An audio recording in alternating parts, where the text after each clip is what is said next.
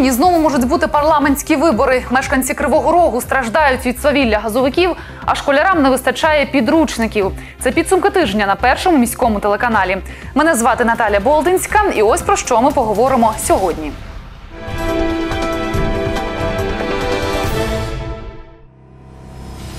Коаліція розвалилася. Що буде з українським парламентом? Залишають без газу. Як борються криворіжці за блакитне паливо? У Кривому Розі учням 4 та 7 класів не вистачає підручників. Великі автобуси чи маршрутки. Чим зручніше їздити вулицями Кривого Рогу? Кривий Ріг – один з основних центрів спортивного голубівництва в нашій країні. Але в нашому місті, на жаль, цим яскравим видом спорту займаються лічені одиниці ентузіастів. Друга річниця майдану. Криворіжці згадують, як все було.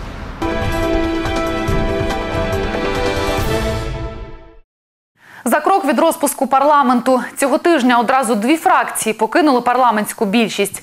Першими свої підписи відкликали партійці Юлії Тимошенко, але два десятки депутатів, що тепер не голосують з більшістю, погоди не зробили.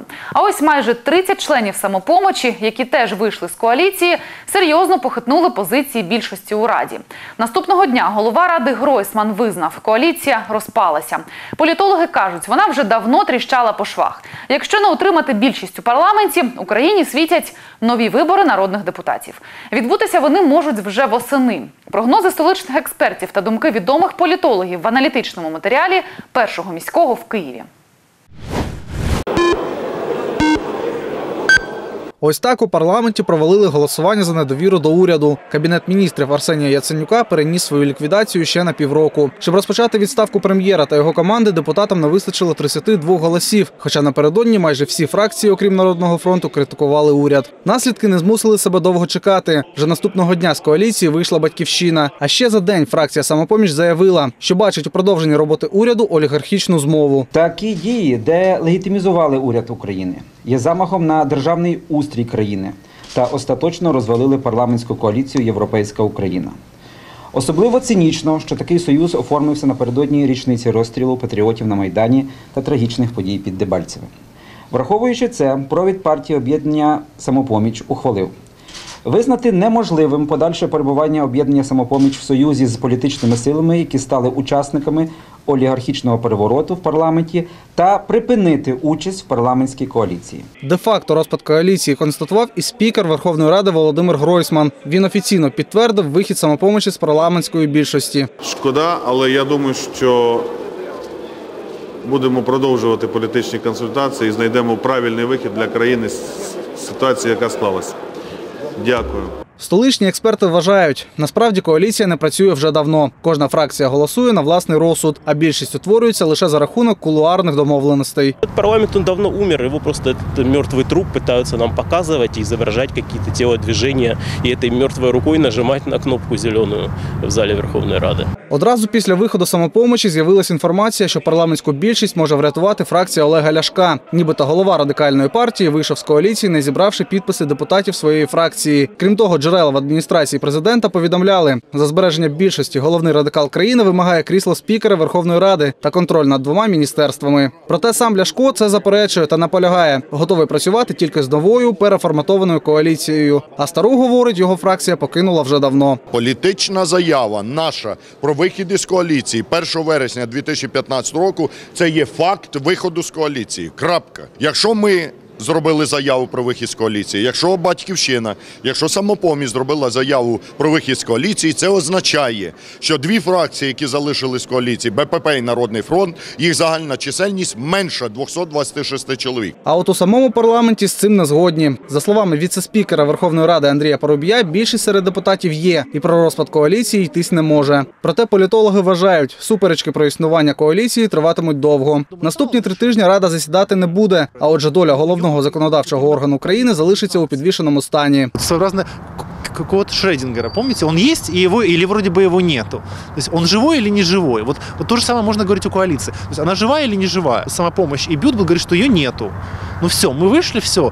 А давайте начинать вопрос или о пере- переформатировании коалиции, или вообще там думать дальше о, возможно, перевыборах. Да? А понятно, что представители Народного фронта, БПП а, и отчасти э, э, партии Ляшка будут говорить, что ой, как бы коалиция вроде бы де юре есть, Тепер слово за спікером парламенту Володимиром Гройсманом. Згідно закону, він повинен офіційно повідомити про розпуск коаліції. Поки що він цього не зробив. Якщо голова Верховної Ради виступить з такою заявою, країну чекатиме формування нової коаліції та обрання прем'єра. У випадку неспроможності депутатів сформувати нову більшість, восени в Україні можуть прийти позачергові парламентські вибори. Олег Єрмолінський, Ігор Філіпов, Тамара Дмитренко. Підсумки тижня. Перший міський Київ. Семенченко замість милобога. Партія самопоміч може провести дуже гучну рокіровку. 13 лютого на офіційному з'їзді екс-кандидат на посаду мера Кривого Рогу Юрій Милобог запропонував висунути замість себе народного депутата Семена Семенченка.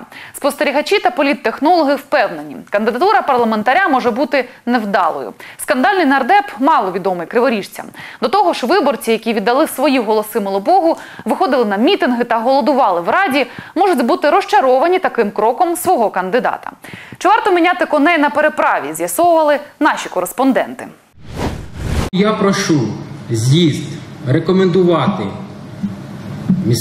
міському Криворізькому міському осередку висунути кандидатам на пост міського голови на позачергових виборах Семена Семенченка. З такою заявою виступив Юрій Милобог на партз'їзді самопомочі. Екс-кандидат в мери Кривого Рогу вирішив зняти свою кандидатуру з майбутніх виборів 27 березня. Містяни, які голосували за Молобога та підтримували його після оголошення незаконних результатів, обурені. Перший раз ходив голосувати за Милобога, второй раз ходил на, за Милобога голосовать. Потом, когда вот это вече началось, все, тоже участвовал в этих мероприятиях, все. Потом, когда Милобог выдвинул Семенченко, я понял, что Милобог предал Кривой Рог.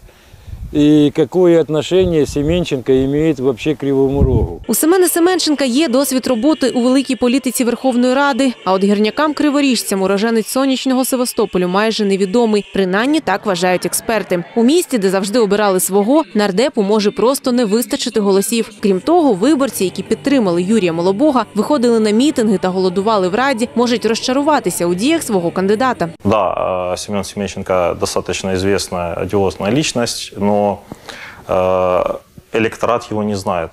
То есть есть узнаваемость, э, скажем так, бренда, да, но нету наполняемости. Все кандидатуры, которые будут не криворожанами, а приезжими, э, то они будут очень негативно восприниматься населением города Кривого Рога. Это уже понятно, это уже как бы ясно. Проте рішення Юрія Молобога вважають дивним не тільки громадські активісти. Сам фаворит Семен Семенченко з цим погоджується. Конечно, тут э, сразу перед выборами такое решение Милобога это ну, достаточно странная история, но я думаю, что в любом случае люди, которые выбрали себе право избрать ту власть, которую они хотят, должны получить такую возможность. Поэтому я буду разговаривать с криворожанами, буду разговаривать с Милобогом. Тим не менш, розмовляти з криворіжцями Семенченко не поспішає. На мітингах, які у грудні та січні не відбувалися без його участі, останні декілька тижнів парламентарій присутній лише по телефону. Київські політтехнологи стверджують, той невеликий рейтинг, зароблений депутатом серед криворіжців, підживлюється виключно мітингами. Проте експерти говорять, у екс-кандидата Юрія Молобога є ще декілька переваг перед нардепом. Если Милобог был не из- такой известный, но свой, и нужно было еще доказать, что за ним стоит там э, Группа Приват, то здесь и доказывать ничего не надо, да, то есть конкуренция Кривой Рог против Днепропетровска. С другой стороны, неоднозначная биография, потому что уже много раз его откровенно называли аферистом. Вот. э, И третий момент слабый, то, что нет управленческого опыта. А в таких случаях, когда на пост мэра выбирается человек без управленческого опыта, я знаю вот на своих примерах, а, управлять городом будут на самом деле другие люди. Аферистом у народі Семенченко стали називати після перших кримінальних проваджень, відкритих прокуратурою. За даними відомства, нардеп ніколи не стояв на обліку офіцерів збройних сил України та незаконно привласнив собі звання майора. Попри це, у фракції самопомочі вважають, Милобог обрав правильне рішення. Семен з самого початку був справжнім мотором всієї боротьби людей в Кривому Розі. Я, як людина, яка теж допомагала цьому, бачила все, е, знаю все. Е, Кажу, що більш віддано, ніж за інтереси криворожан, ем, ніхто, окрім Семена, не боровся. Сам Лобох виправдовується, нікого зраджувати не хотів. Йому важливо змінити систему, а не прізвища мера. Голова міста має бути гарним керівником, менеджером, економістом. А звідки він неважливо. Дуже багато чинників. Піду я чи не піду. Я не можу просто стати списком, як сьогодні е, прогнозується десь до 50 кандидатів. Але цих 50 кандидатів це будуть статисти в більшості своїй. Я просто статистом бути не можу. Я або йду перемагаю, або готуюсь для того, щоб перемогти. Якщо я буду бачити, що я забезпечений фінансовим ресурсом, юридичною підтримкою. Е, На мене будуть працювати там політтехнологи. Тоді, звичайно, я хоч завтра готовий е, вступити в цю боротьбу. Тим часом в опозиційному блоці не тільки визначились з кандидатом, але й на повну силу готуються до виборів. Невизначеність самопомочі зіграла на руку нинішньому меру Вілкулу та його поплічникам. Криворжане восприняли это как злую шутку. Я считаю, что э, в кривом рогу мэр должен быть однозначно криворожанин. Семенченко не является криворожанином. Шансы Юрия Григорьевича Вилкула однозначно будут в первом туре, и первая цифра будет 7, независимо от того, какой будет кандидат. Так чи інакше, до виборів залишилося близько 40 днів, а самопоміч так і не визначилась з остаточним кандидатом. Катерина Єрська, Ігор Філіпов, Тамара Дмитренко. Підсумки тижня. Перший міський. У Кривому Розі масово відключають газ. Люди збентежені та перелякані. Дехто навіть боїться побачити автівки Криворіжгазу у себе на подвір'ї. На сполох б'ють депутати міської та районної рад. У їх приймальнях черги обурених містян. Газовики відмахуються та радять людям звертатися до єдиного вікна. Проте ані переписка, ані перемовини результатів не дають. Цього тижня до міськгазу навідалася ціла депутатська делегація. Народні обранці вимагали від газовиків відзвітувати та виправитися. Що з того вийшло, знає Вероніка Лавріненко.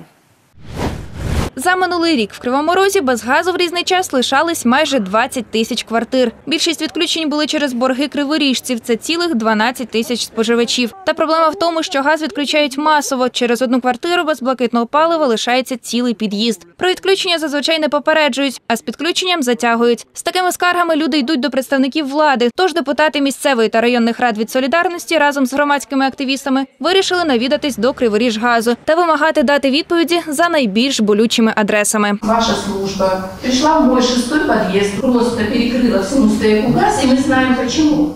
Потому что у нас есть неплательщица. Люди сидели 10 дней без газа. Потом мы просто, я вам сразу говорю, заплатили деньги и нам его подключили. В ту квартиру так и не попали. У Криворіжгазі виправдовується планування радянських будинків у Кривому Розі поєднує газові труби всіх квартир, тому по-іншому відключати просто не можуть. Якщо хтось поскаржився на виток газу, без блакитного палива залишаються усі квартири, доки їх не перевірять. До того ж, монополісти-газовики обурені, що люди користуються послугами по встановленню обладнання інших компаній. Зачастую при обследовании в первую очередь мы встречаем нарушения. Это самовольно установленное газооборудование, как я сказал, это 5000. А, низкокачественные материалы, которые используются при подключении газовых приборов. Нарушение э, в дымовентиляционных каналах. Але користувачі не згодні. Люди впевнені, безкоштовне встановлення лічильників це привід потрапити у квартири та знайти або вигадати порушення, аби залишити будинки без газу. Зміни у законодавстві накопичувалися роками, аж тепер впали як сніг на голову. Зокрема, йдеться і про колонки, які у багатьох стоять у ванних кімнатах. А за новими правилами мають бути в кухні. Есть проектная документация, в которой четко и ясно э, показаны разводка газовых труб и, в первую очередь, вытяжных каналов. Вытяжные каналы по э, газовому оборудованию в наших домах расположены э, в ванных. Перенести вот этот газовый-вытяжной канал, который идет через все пять этажей, технически невозможно. У Кривому Розі більше ніж у 100 будинках газові колонки встановлені у ванній, а це 1800 квартир. За державними будівельними нормами ще з 2001 року це неправильно. Газові прилади мають стояти у приміщеннях з вікнами. В Криворіжгазі проблему ігнорували 15 років, а зараз схаменулися. При встановленні лічильників на газ пломбують колонки і вимагають їх перенести, наприклад, в кухню. Та при цьому самі ж визнають, що це неможливо. В доме отсутствует вентиляционный э, и обособленный домовой канал на кухне. Э, В таком случае колонку с ванной комнаты на кухню перенести не, предостав- не представляется возможным. Как альтернатива можно в таких домах использовать э, колонки с отводом продуктов сгорания через наружную стену, то есть это турбоколонки, или как альтернативу использовать э, бойлер для подогрева воды. Зараз люди бідкаються, адже в сталінках з колонками у ванних живе багато пенсіонерів. Переносити обладнання або ж міняти його на електроприлади дорого, та й можливості немає. Если хотя бы человек 15-20 в нашем доме, ну полдома, подцепить эти бойлеры, у нас все, проводка погорит. Она старая, не выдержит. Там, где перестроились дома на, с расчетом, что будет вместо газа э, электроотопление, плитки электрические, там совершенно другой тра- тариф на элек- электроснабжение, стоимость другая. Ставити турбоколонки ще дорожче, ніж бойлери, адже для цього треба будувати окремий димохід. Парадоксально й те, що газовики стверджують, там, де стоять старі колонки, що були ще за проектом будинку, їх тільки перевіряють і не відключають. Проблема й в тому, що газовики абсолютно не інформують населення. Тож користувачі навіть не знали, що природне бажання зігріти воду порушує закон. Мы считаем, что очень плохо построено информирование людей. Не в плане того, как страшно жить с газом, а в плане того, как нужно выполнять и быть ответственным, выполнять требования организации, которая газ поставляет. Чтобы люди поняли, что самим нельзя ничего делать. Співробітники Криворіжгазу пообіцяли депутатам будуть активніше взаємодіяти з людьми. Почнуть повідомляти про відключення не тільки в газеті Червоний гірник, а й в інших засобах масової інформації. Запевняють, будуть вчасно інформувати абонентів про зміни у державних нормах. Крім того, причини і терміни відключень будуть передавати управдомам, а ті сусідам. Вероніка Лавріненко, Євген Жулай, Олександр Бондаренко. Підсумки тижня. Перший міський. Не вистачає книг. Учням четвертих та сьомих класів бракує підручників. Інколи на весь клас може бути одна книга. Коли пощастить, посібником для навчання треба ділитися з сусідом по парті. Але викладачі знаходять оригінальні шляхи вирішення проблеми. Попри це, старі підручники не відповідають програмі, а нові можна придбати в магазині. Але ціни кусаються. Шукала вихід і знайшла його Інна Даншина. І ось її репортаж. Учні четвертих та сьомих класів навчились ділитися. На один такий учбовий кабінет видали лише декілька нових підручників. Додому їх не дають, тому діти виконують домашнє завдання по старим книжкам. На Даманському у школі номер 110 учні 4 та 7 класів навчаються за новою програмою 2015 року. Але підручників не вистачає. У молодших взагалі немає книжок з математики, а у старшокласників відсутні російська мова, українська, хімія та фізика. Інші посібники є, але лише один на парту. Тому вчителям та учням довелося пристосовуватися до незручностей. Старі підручники ми використовуємо частково. Якщо є той матеріал, нам підходить для викладання за новою програмою. І також, е, коли у нас зовсім не було підручників, ми використовували мультимедійний проєктор для того, щоб діти бачили ті завдання з підручників, з нових підручників на уроці. Завдяки майстерності вчителів діти практично не відчувають нестачі. Вдома є комп'ютери, а відсутність книжок навіть зближує малечу. Да, я пользуюсь дома электронной версией. Ну, мне не очень это удобно, так как вечно вверх смотреть э, на компьютер. А вот с книжками мы делимся, нам удобно. Можно подсказать, под, под- подспросить. Не надо там отворачиваться друг от друга. Ну, удобно. То, что у нас одна книжка на двоих, это нас сближает. В санаторній школі-інтернаті номер 7 навчаються діти з викривленням хребта різного ступеню складності. Під час уроків школярі не лише сидять, але й лежать на спеціальних лежаках, що добре впливає на весь опорно-руховий апарат. Школа обласного підпорядкування, тому книгами забезпечена трохи краще, ніж міські. На двох учнів один новий підручник, тоді як у інших школах посібниками забезпечені лише 20% дітей. Мы пользуемся учебниками. Один учебник на парту. На дом учебники не выдаются. Если есть необходимость дополнительно поработать дома над домашним заданием, дети пользуются электронными версиями учебника. Э, Также мы пользуемся дополнительными ресурсами, интернет-ресурсами, э, пользуемся дополнительной литературой, э, подбираем самостоятельно материал. Таким образом, э, вы- выходим из создавшейся ситуации. Учні дуже задоволені такою формою навчання. За використання гаджетів тут зовсім не сварять, а навпаки хвалять. Я пользуюсь планшетом, да, я скачал там все книжки. Э, Также учителя дают нам на уроках конспекты, которые мы потом дома учим, рассказываем. Э, Ну, конечно, пользоваться, наверное, книжкой удобней, потому что ну, планшет все-таки портит зрение. но с планшетом тоже удобно. Ідея зробити навчання більш сучасним належить вчителям. Вони перші знайшли простий вихід із складної проблеми. Естественно, учитель должен максимум усилий, чтобы ребенок не в книжку э, был, э, смотрел, а вот сейчас вы имеете возможность поприсутствовать на уроке геометрии, и э, тот вклад, который я посильный могу внести в преподавание геометрии, наглядная наука, дети должны видеть, поэтому вот составлены такие, вы можете посмотреть презентации, и дети могут э, освоить геометрию, несмотря на отсутствие учебников. Звичайно, підручники батьки можуть придбати самостійно. У крамницю щойно надійшли книги для четвертих та сьомих класів. Ціни від 60 гривень. Сегодня мы получили а, новый завоз книжечек, книги по четвертому классу и по седьмому классу.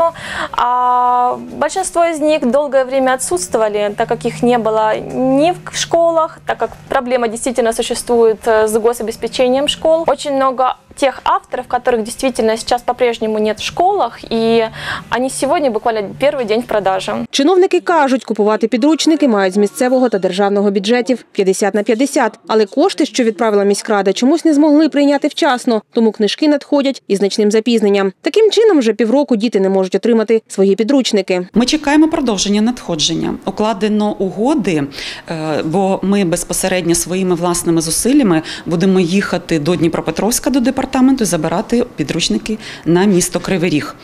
Ця процедура ще буде тривати. Ем, Скоріш всього, це ще буде тривати січень і лютий. Якщо все буде так, як е, заплановано відповідно до графіку, то можна до кінця березня чекати надходження чергових партій підручників. Якщо держава врахує всі попередні помилки, то наступного навчального року усі діти будуть забезпечені книжками вчасно. Інна Данчина, Євген Жулай, Євген Аністрат. Підсумки тижня. Перший міський. Великі чи малі? Які краще, якщо йдеться про автобуси. Скоро криворіжці зможуть порівняти і обрати для себе зручніший транспорт. А ще доїхати від площі визволення до північного ГЗК без пересадок. З 1 березня у Кривому Розі з'явиться новий маршрут під номером 228. Працюватимуть на ньому великі автобуси марки МАН. При цьому вартість проїзду буде дешевша, ніж у маршрутках. У плюсах та мінусах великих і малих автобусів розбиралася Вероніка Лавріненко. Це автобус марки МАН. В ньому є майже 30 сидячих місць. Саме такі з 1 березня будуть курсувати вулицями Кривого Рогу. Обслуговуватиме маршрут комунальне підприємство Міський тролейбус. Для цього у приватної компанії орендували 5 автобусів. На маршрут вийде всього 4. Один залишиться в резерві. Первое время мы будем работать, э, планируем работать в экспериментальном режиме на этом маршруте. Цель этого эксперимента составляет то, мы хотим, первое, изучить пассажиропоток на этом маршруте. Второе, сменяемость пассажиров. И третье, самое главное, конечно же, это спрос и заинтересованность пассажиров в протяженном, в самом протяженном автобусном маршруте города. Від одної кінцевої до іншої з усіма зупинками автобус доїде за дві години. Вартість квитка обіцяють зробити меншою, ніж в маршрутках. Попередньо зупиняється на тарифі 3 гривні, та поки що його не затвердили. Без сумніву, плюсів є багато, та все ж не для всіх цей транспорт буде зручним, тому що автобусів на маршруті буде тільки чотири. Отже, ходитимуть вони з великим інтервалом. У вересні проходив конкурс для перевізників на 228 маршрут, але бажаючих серед приватних компаній не виявилось. На думку спеціаліста у сфері транспорту Андрія Заславського, перевізники вважають, що їздити так далеко невигідно, адже власники автобусів видають путівки на кожен маршрут. Тому чим більше путівок, тим більший прибуток. Та насправді це міф. Їздити далеко великими автобусами загальноєвропейська норма. Там это высокая сменяемость пассажиров. Высокая сменяемость. Благодаря этому за рейс маршрутка перевозит уже не один салон, а два-три салона пассажиров. И по итогам рабочего дня получается больше как бы, ну, прибыли, больше доходности такого маршрута. Поэтому миф о том, что длинные маршруты невыгодны, в принципе, я считаю, он искусственный. Великі автобуси не тільки зручні, місткі, але ще й більш безпечні. В жодній європейській країні мікроавтобуси не возять пасажирів по місту. Це просто невигідно. Автобуси чудовий варіант розгрузити вулиці міста. Адже якщо перевозити, припустимо, 80 людей, треба лише один автобус, дві-три маршрутки або ж близько 40 машин. Різниця відчутна. Ну, удобно автобусы, потому что они большие, комфортные. А маршрутки, они, ну, если бы, конечно, не стоячие места, ну, люди ездили бы на своих сидячих местах, было бы удобно ездить. Если говорить про автобусы, то автобусы там больше места. Вот это, конечно, это с одной- с одной стороны удобнее. Но маршрутки, мне кажется, если, если нужно быстро куда-то доехать, то маршрутные, как говорится, такси, оно намного быстрее. Я вважаю, що зручніше на маршрутках, тому що маршрутки більш е, як займають менше місця на дорозі, по-перше, і це буде не буде спричиняти якогось дискомфорту на дорозі водіям та іншим е, пере- ну, пішоходам. Ну, автобусы, чтобы были большие, чтобы было, как говорится, больше э, мест. О, дело другое. И чтобы цена была более приемлемая для нас, пенсионеров. Більшість криворіжців за місткі та зручні великі автобуси. Розклад нового маршруту обіцяють повідомити вже наступного тижня. Кажуть, підлаштовуватись будуть під працівників північного ГЗК. Головна умова, щоб автобуси могли привезти на роботу та забрати з неї людей. Вероніка Лавріненко, Євген Жилай. Підсумки тижня. Перший міський. Кривий ріг і голуби. Голубівництво називають радянським спортом. Пік розвитку у Кривому Розі припав на 2000-ні роки. Зараз цією справою займаються лічені ентузіасти. І за це дуже часто доводиться ще й пристойно платити. Мало хто знає, але наше місто – один із центрів спортивного голубівництва в Україні. Олександр Фіфілатів зустрівся з незвичними спортсменами, які представляють нашу країну на світовій арені. Анатолій Васильович вже 40 з гаком років розводить голубів. Для нього це не тільки справа всього життя, це ще заняття для душі. Армія пернатих вихованців налічує більше п'яти сотень осіб. За п'ять років існування Української федерації спортивного голубівництва взяв участь у змаганнях пернатих льотчиків у Польщі, Румунії, Німеччині, Балтійських країнах та на іспанських Канарських островах. Ну, моей жизни розведення голубей це, як сказати, стимул, жизненна енергія. Вони дуже допомагають мені в житті. Дуже багато радості приносять. Хоча коло них і маса забот, їх кожен день і кормить, і вбирати за ними. Це дуже хлопотно. Ну наскільки воно приємно, і як це за всю життя ти пристосувався до цього, нравиться тобі. Тобто це голуби, це положительна енергетика такої величини, що від неї просто відказатися не можеш. Спортивні голуби предмет особливої гордості власника. Важко уявити, але на рахунку багатьох його птахів сотні кілометрів шляху. Один з вихованців, якого випустили з клітки в Берліні, повернувся додому за декілька днів. А це між іншим півтори тисячі кілометрів. Висока швидкість, маневреність, супутній вітер. Ось і весь секрет. Вага кожної з цих осіб складає приблизно 300 грам, але це аж ніяк не заважає розвивати стартову швидкість до 150-170 км на годину. У Анатолія живуть спортивні голуби із підвищеною аеродинамічністю, а також звичайні, високольотні. Останні для душі та й просто радують очі. Каже, до них дуже швидко звикаєш.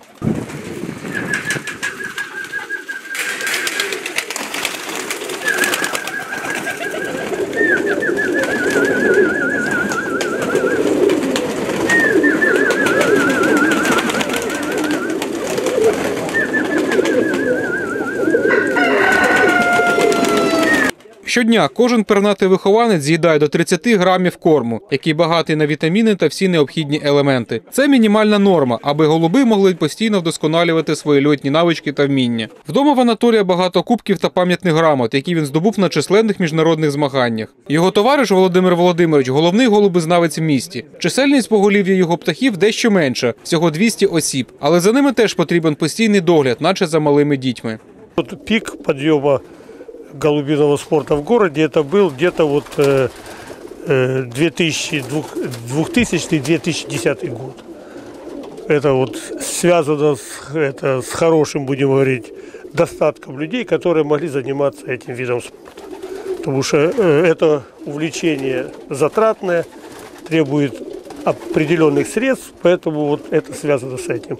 Особисто для себе Володимир Володимирович давно вже вивів дивну, але в той же час вірну формулу. Чим спокійніше та благополучніше життя всередині країни, тим вищий рівень розвитку голубівництва. Наразі світовим лідером за темпами розвитку цього видовищного виду спорту є Китай. Жителі Піднебесної можуть дозволити собі купівлю пернатих льотчиків, вартість яких становить сотні, а подекуди й тисячі євро. Що стосується України, в нас наразі голубівництво це справа окремих ентузіастів, що не мислять свого життя без вихованців, що воркують. Вірять, ще побачать розвиток розквіт цього досить незвичного виду спорту на теренах нашої держави, адже все в історії має здатність повторюватися. Олександр Фефілатів, Максим Пономарьов. Підсумки тижня. Перший міський.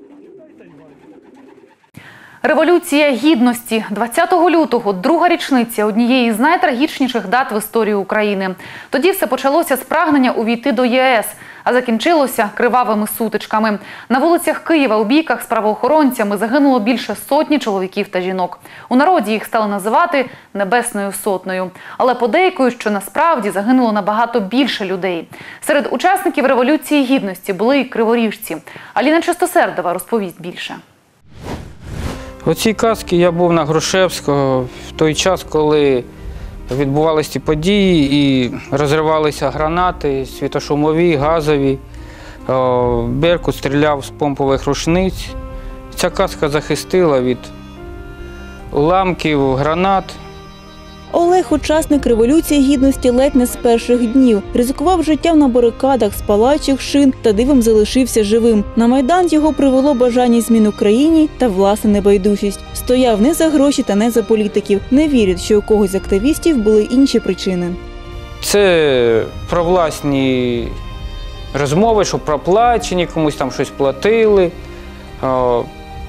На, на Майдані, скільки з всіма я спілкувався, скільки я людей бачив, нікому ніхто нічого не платив. Люди за свої кошти приїжджали або за кошти, які були зібрані громадою. Олена готувала їжу бійцям та допомагала пораненим. У сутичках участі не брала, але встигла надивитися на все життя. Найбільше жінку вразив палаючий будинок профспілок та несподіваний напад беркутівців. Ну там, конечно, раздались звуки автоматной очереди, это самое. Все было в дыму, э, лужи крови, груды трупов, все в суматохе, в хаосе. Непонятно, кто кого бежит, и, и, ну, конечно, зрелище было страшное. Ніколи не забуде той момент, коли побачила тіла перших загиблих, особливо героя Небесної сотні, мешканця Луцька Олександра Плеханова. И зазвонил у него телефон. Зазвонил его телефон, и волонтер-медик, который помогал, он поднял трубку, звонила его мама, этого Александра. Ну, видать, материнское чи- сердце почувствовало неладное, вот. И он поднял трубку и говорит, алло, она спрашивает, Александр, он говорит, нет, ваш сын погиб. Олег, Олена та інші наразі допомагають нашій армії. Про майдан нагадують лише світлини Небесної сотні та прапор, через який прилетів коктейль Молотова. Волонтери зберігають також і стяг активіста, який пройшов через всі гарячі точки революції, але загинув у зоні АТО. Это флаг, э, который был на Майдане, который до сих пор пахнет гарью э, шин.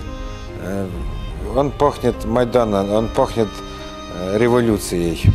Олександр один з тих небайдужих криворіжців, кого обурив силовий розгін майдану. Він покинув усі свої справи та поїхав підтримувати акції протесту. С первого дня я поехал на Майдан. Э, У меня зов сердца такой был. Из-за того, что избиты были студенты, молодежь. Я поехал туда не за Европу, я поехал туда за справедливость. Все. Андрій допомагав робити барикади та брав участь у захопленні українського дому. Ледь не травмувався у сутичках біля інститутської. Наразі він депутат райради, одружений чоловік та батько. Дружину, до речі, зустрів на майдані. Вважає, революція гідності перш за все змінила свідомість людей. Е, те, що люди дуже сильно якби об'єдналися, вони стали більш такими єдними. Після Революції Гідності вони почали займати або проукраїнську таку рішучу е, позицію, або антиукраїнську. Завдяки революції ми почали бачити, що ну хто є хто. Правильне патріотичне виховання молоді проходить. Ті, хто не міг поїхати у Київ, влаштовували майдани у власних містах. Так сталося і у Кривому Розі. Городяни зустрічалися на 95-му кварталі та біля міськради. Протестували, збирали допомогу від громадян та обмінювалися новинами з Києва. Криворіжці за день могли зібрати більше п'яти тисяч гривень та відправити у столицю. Були на цьому майдані біля гори сполкома. От. Дуже страшно, невдобно було стояти з перших днів, тому що всі нас вважали дураками, якимись пришибленими, неработаючими, хоча б я з роботи уходив на майдан. Ставили ми такі маленькі коробочки. В эти коробочки собирались пожертвования. Більшість криворізьких учасників Революції Гідності стали або волонтерами, або поїхали у зону АТО. Серед наших земляків жоден не потрапив до Небесної Сотні. Але за неофіційними даними безвісті зникли четверо городян. Аліна Частосердова, Максим Пономарьов. Підсумки тижня. Перший міський. Нехай ті, що пішли, назавжди залишаються у наших серцях, але й про тих, хто просто зараз поруч із нами, забувати теж не варто. Я бажаю усім глядачам тепла у серцях та оселях. А інформаційна команда першого міського цього тижня прощається з вами. Вже у понеділок у цій студії ми розкажемо найсвіжіші новини. Тоді побачимось. Для вас працювала Наталя Болдинська. Залишайтеся з першим міським. Все буде добре.